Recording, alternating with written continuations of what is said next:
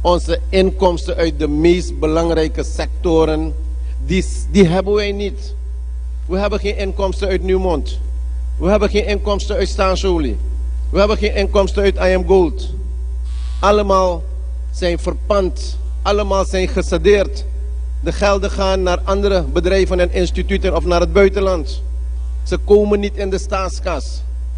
Vergeet u niet dat de regering, de vorige regering, een overeenkomst getekend had voor 25% salarisverhoging. Dat betaald is met TWK tot en met juni van dit jaar.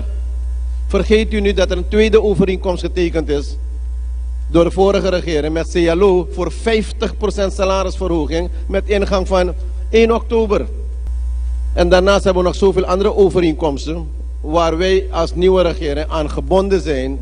Je kan er niet afkomen en dat moet je ook allemaal betalen. Onze juristen kijken welke van de overeenkomsten nog herzien kunnen worden. Maar dat zijn zulke overeenkomsten waar je als staat zodanig aangebonden bent en zelfs boete moet betalen als je die overeenkomsten niet uitvoert. En zo, een voorbeeld van het project is bijvoorbeeld het baggerproject, waarbij we als staat nu als regering 70.000 Amerikaanse dollar per dag, hoort u het goed, per dag aan boete moeten betalen. Waarom kijkt de regering naar 2 miljard? Dus vanwege die 550 miljoen bond die we hebben, en die 125 miljoen Oppenheimer 2 lening, zit je al op uh, 675. Betaal je al zoveel rente. Die 125 miljoen Afubaka Dam lening, daar is ongeveer 13% rente per jaar. Die 550 miljoen is meer dan 50 miljoen US dollar rente per jaar. Oktober, aanstaande oktober, moeten we meer dan 26 miljoen US dollar alleen aan rente betalen voor die 550 miljoen bond. In december moeten we meer dan 6 miljoen US dollar aan rente betalen voor die 125 miljoen. Van waar moet dit geld komen? We hebben dit geld niet. Al die maatregelen, ik kan u zeggen, al die maatregelen die we nu treffen, dat pakket aan maatregelen, die zeer korte termijn, en dat breed pakket aan maatregelen, in een losse crisis op. Echt waar.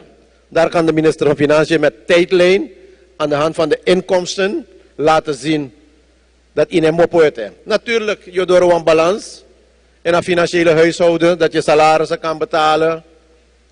Maar dat is salaris voor ambtenaren alleen.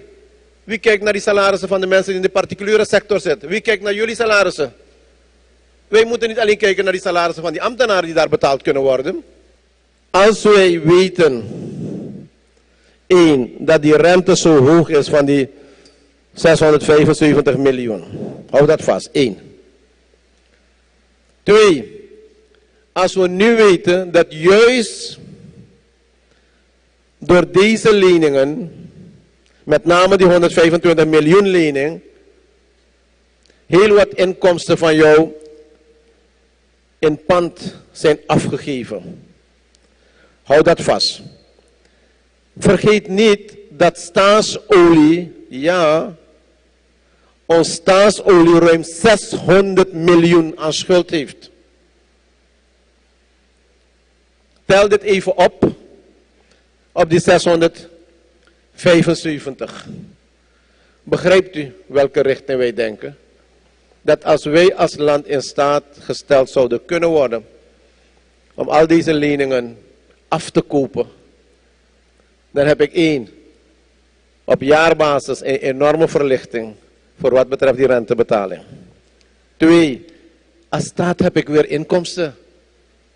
Als staat ga ik weer inkomsten krijgen die nu allemaal geblokkeerd zijn door middel van allerlei collateral deals uh, die gesloten zijn. Zo moet je zien, één, waarom we een groot gasbedrag nodig hebben. Maar we hebben ook geld nodig om het land te ontwikkelen.